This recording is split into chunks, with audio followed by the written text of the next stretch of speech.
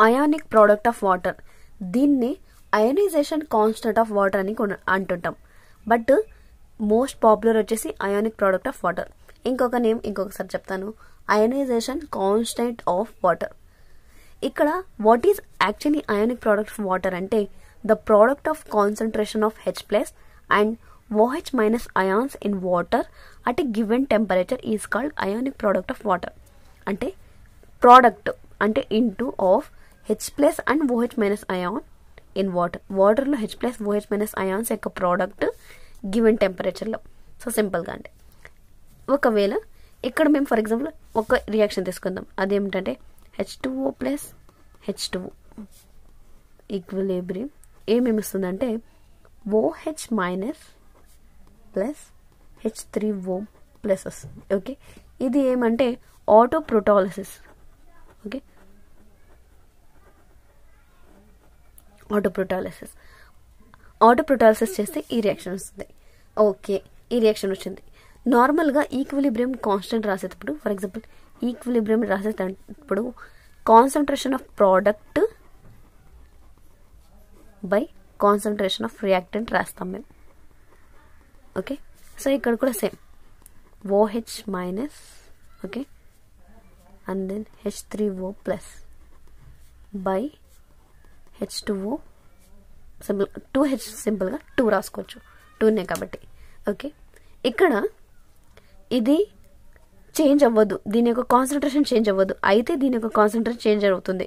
So ఎలా రాసుకోవచ్చు? K into H two O square is equals to concentration of OH minus H three O plus okay ఇది సింపుల్గా constant రాసుకోవచ్చు. అదేమిటంటే కేడబ్ల్యూ so దీన్నే అయానిక్ ప్రోడక్ట్ ఆఫ్ వాటర్ అంటుంటాం.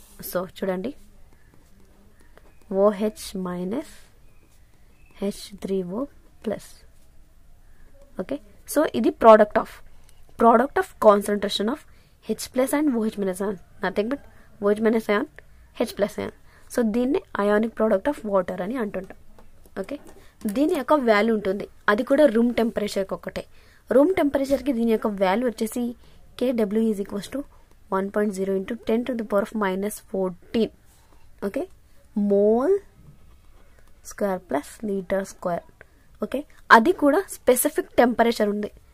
At twenty five degree centigrade three eight kelvin so ఇలా ఇవి constant values ఉంటేనే ఇంత వాల్యూ వస్తుంది. నార్మల్ టెంపరేచర్ ఓకే రూమ్ టెంపరేచర్కి ఇది వాల్యూ ఒకవేళ టెంపరేచర్ ఇంక్రీజ్ చేసినాం అనుకోండి ట్వంటీ ఫైవ్ ఉంది.